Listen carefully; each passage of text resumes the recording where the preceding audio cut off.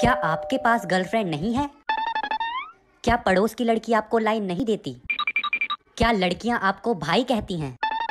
अगर आप इन सबसे परेशान हैं तो लॉग इन करें डब्ल्यू डब्ल्यू डब्ल्यू डॉट हे भगवान उठाला डॉट कॉम Liking